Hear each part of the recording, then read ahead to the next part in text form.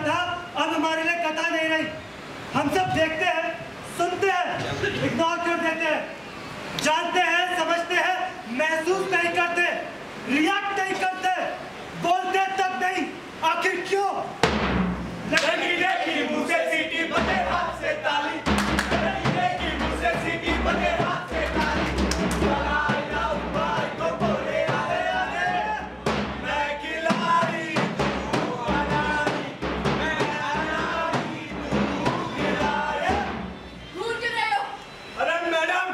देखा ही तो है। और देखना कब से कोई क्राइम हो गया। ये क्या कर रहे हो? शर्म नहीं आती? मैडम पीछा ही तो कर रहा हूँ। इसमें शर्म वाली कौन सी बात? ये क्या बदतमीजी है? मुझसे क्या पूछती हो जाने मन? ये तो इस खुदा से पूछो किसने तुम्हें इतनी शिद्दत से बनाया है? मेरा नाश्ता क्यों रोका? अरे मेरी जान तुमने हमारी साँसें रोक दी। हमने तो आपका रास्ता ही रोका है।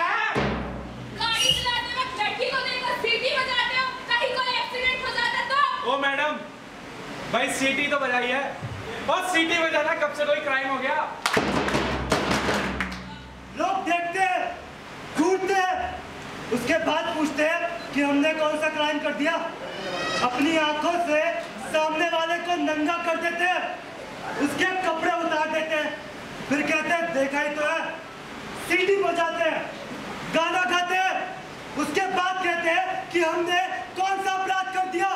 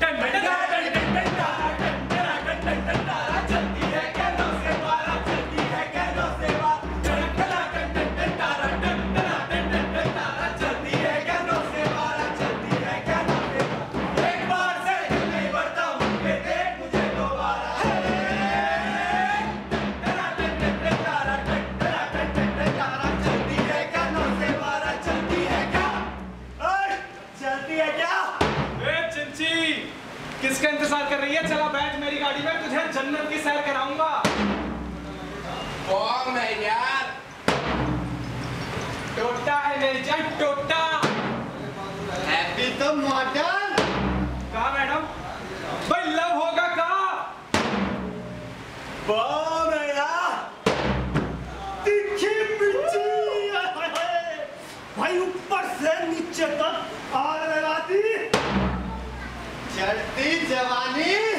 क्या गरम मसाला यार। क्या फिगर है जाने पर? 36 24 36 ये दिल न होता बेचारा। कदम ना होते आवारा शर्म नहीं कब्र में पाव लड़के और बेटी की उम्र की लड़की को छेड़ते हो अरे मोरी बिटिया उम्र में क्या रखा है? अभी तो मैं जवान हूँ घर में माँ बहन नहीं है क्या तेरे भाई घर में माँ भी है और दो बहनें भी हैं लेकिन अपने घर की माँ और बहनों को कोई छेड़ता भला? नहीं ना। आज तो मिले हाथ होती है बदतमीजी की too much मैडम आप तो बुरा ही मान गई। ओए गरम मसाला ही तो कहा था। और तुम हो भी तो। अब परेशान किया ना? तो पुलिस को फ़ोन कर दूँगी। हमने कौन सा अपराध कर दिया? अब वही इतनी खूबसूरत क्यों भाइयों मैडम है भी तो। शकरकंद आवे है। भाई गणेश शर्मा आवे पर क्या करे? तने देख के चली जावे है। शक्ली से तो तुम पढ़े लिखे लगते हो। फिर ये छिछोरापन क्यों? अरे मैडम अरे हम पढ़े लिखे के दिल क्या पत्थर के होते हैं।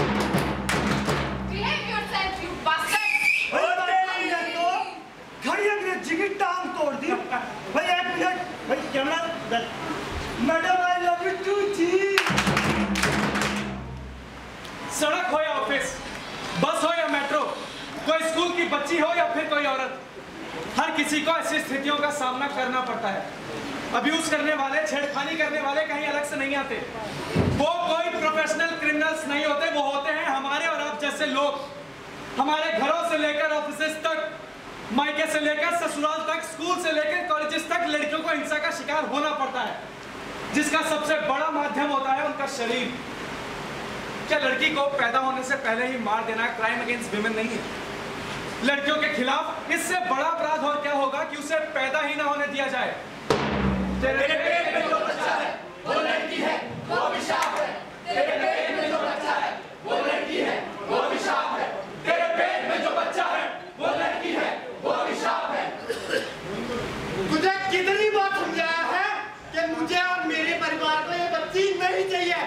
आज ही जाके इसको अबॉर्शन करा गया नहीं मैं अपनी बच्ची नहीं मारूँगी बात नहीं मानेगी तू। अपने पति की बात नहीं मानेगी है रख। इसे तो मैं ही खत्म कर देता हूँ आज।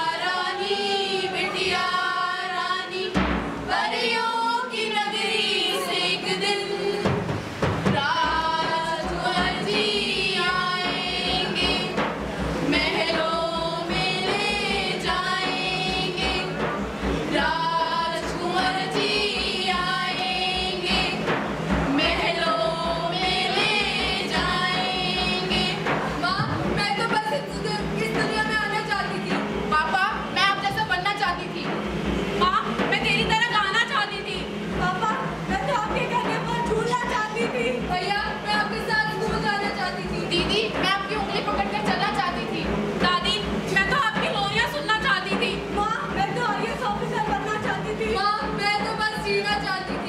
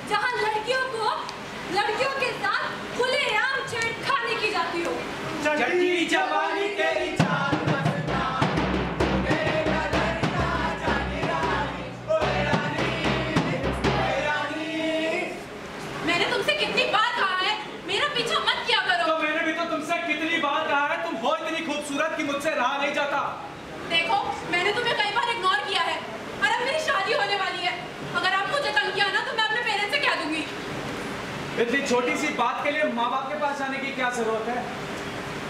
तेरी शादी होने वाली है ना? शादी मुबारक हो।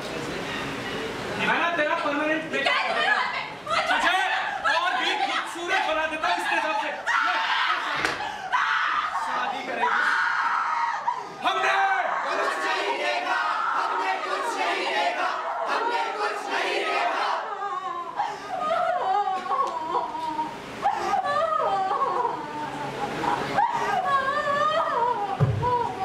जब भी कोई लड़की किसी लड़के से बात नहीं करती या फिर उसको ऑफ़र एक्सेप्ट नहीं करती या तो उसे गोली मार दी जाती है या उस पर तेजाब फेंक दिया जाता है गोली मारना तेजाब फेंकना ब्लेड से काटना हमारे देश में आम बात हो चुकी है जिस दिन हमारे देश के बड़े बड़े पुलिस ऑफिसर ये स्टेटमेंट देते हैं कि लड़कियों के ऊपर होने वाले अपराधों में कटौती हुई है।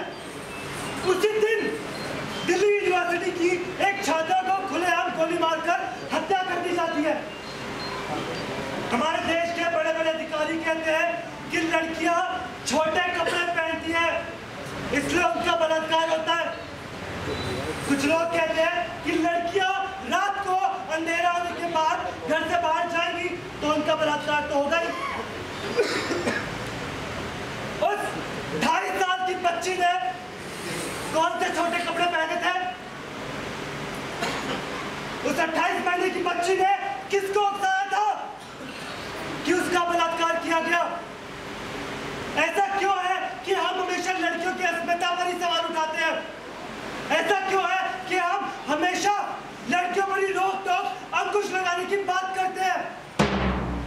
घर में या किसी घर में गली मोहल्ले में या किसी पब्लिक प्लेस पर अगर कोई लड़का किसी लड़की को छेड़ रहा होता है या उससे मज़े लेने की कोशिश कर रहा होता है हम अपने आँखें क्यों पूछ लेते हैं? हम किसी लड़की के ऊपर कमेंट पास करने से पहले ये क्यों नहीं सोचते कि हमारे इस दुर्व्यवहार से बदतमीजी से उनके दिलो दिमाग पर क्या गुजरती होगी? क्या कभी किसी छेड़ने वाले ने सोचा है कि उसका एक मिनट का मनोरंजन किसी भी लड़की की मानसिकता पर मेंटली और फिजिकली और इमोशनली भी क्या असर डालता होगा? एक बार सिर्फ़ एक बार खुद को हम लड़कियों की जगह रखकर देखिए। पता चल जाए कुछ ना कर पाने की कसक क्या होती है। हम लड़कियों को movement of space freedom of movement देने के लिए क्यों तैयार नहीं है? क्या हम सबने ये कभी सोचा है कि हम मर्दों के इस तरह के व्यवहार से कितना टूटती, कितना डरती और कितना सहमती है लड़कियाँ? छोटा सा आशा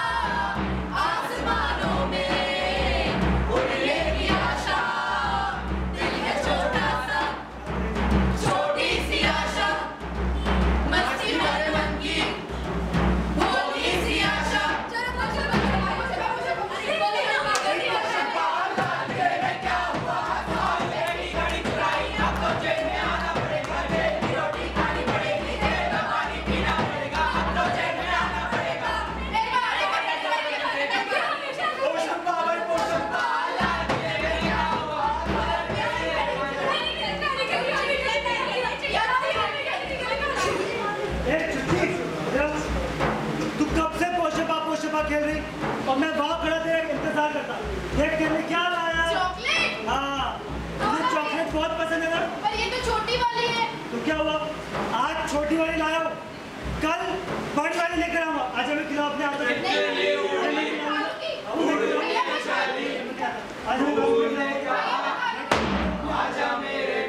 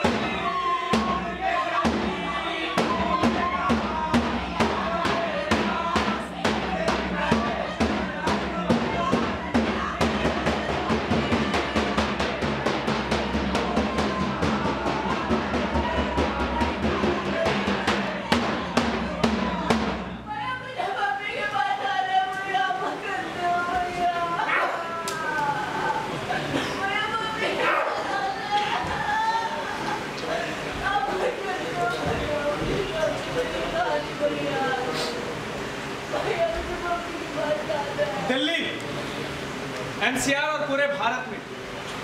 ऐसी यौन हिंसा की घटनाएँ रोज़ाना घटती हैं। हम सब अखबारों में पढ़ते हैं, टीवी पर देखते हैं, रेडियो पर सुनते हैं और फिर सब भूल जाते हैं।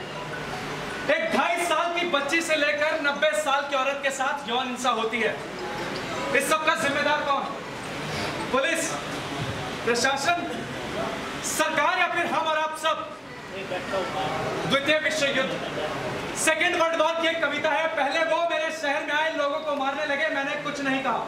वो मेरे मोहल्ले में आए, मैं चुप रहा, वो मेरी गली में आए, मैंने अपनी आँखें बंद कर ली लेकिन जब वो मेरे घर में आए, तब मुझे बचाने वाला कोई नहीं बचा।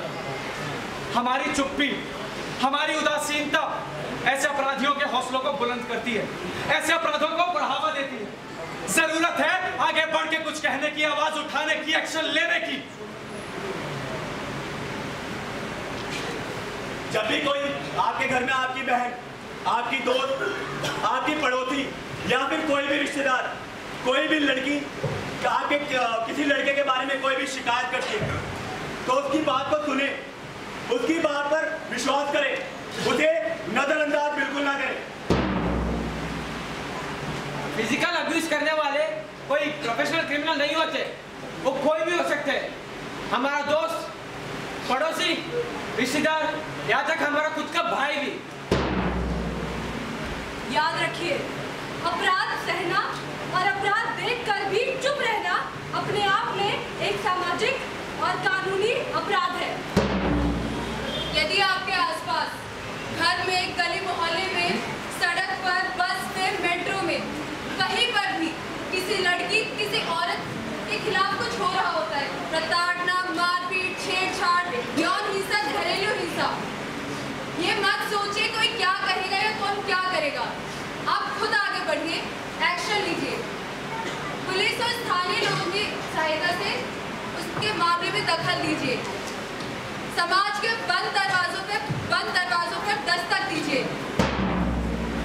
हम लड़कियों को तो बहुत कुछ सिखाते हैं। बहुत कुछ समझाते हैं।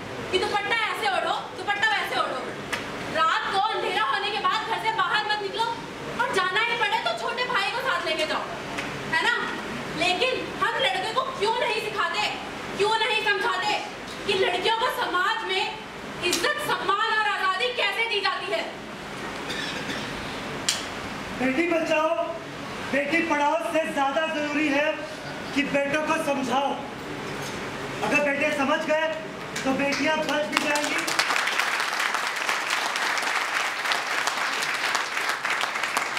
बेटियाँ बच भी जाएँगी और बड़े अपने माँ बाप का नाम भी रोशन करेगी। भारत में आज़ादी सबको मिली थी।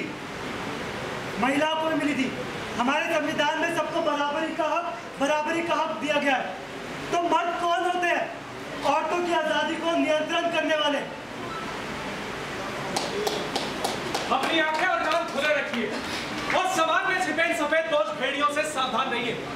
एक बात याद रखिए, अगर किसी लड़की के साथ ऐसा कुछ होता है तो उसकी जिम्मेदार वो लड़की नहीं होती। जिम्मेदार लड़की के कपड़े नहीं होते। जिम्मेदार होते हैं हम और आप सब, जो सब कुछ देखते हुए भी अपनी आँखें और कान सिर्फ़ इसलिए बंद कर लेते हैं ताकि कहीं हमें पुलिस स्टेशन और कोर्ट कचहरी के चक्कर न लगाने पड़े। नतीजा, सबूतों के अभाव में अपराधी साफ़ बस निकलता है और इसी से उसे हौसला मिलता है नए अपराध करने का। क्या हम सब मिलकर समाज में अपनी बेटियों को, अपनी बहनों को एक सुरक्षित माहौल नहीं दे सकते। इसकी शुरुआत हमें खुद से करनी होगी। क्यों? क्यों हमें हमेशा अपनी आवाज़ उठाने के लिए दामिनी जैसे हादसों का इंतज़ार करना पड़ता है? हम सब समाज में ऐसा माहौल क्यों नहीं बनाते, जहाँ पर लड़कियों के खिलाफ हिंसा करने के बारे में सोचना ही क्राइम माना जाए? दस्तक दीजिए समाज के दिमाग पर, उनकी सोच पर। हम सब नुक्कड़ नाटक के माध्यम से दस्तक देने की कोशिश कर रहे हैं। आप सब जहाँ हैं जिस जगह हैं, उस माध्यम से दस्तक देने की कोशिश करिए। और ये दस्तक आखिरी दस्तक होनी चाहिए। कि now it's enough no more crime against women zero tolerance अब हम और नहीं सहेंगे। मंजूर है कॉल लड़की करे मंजूर है?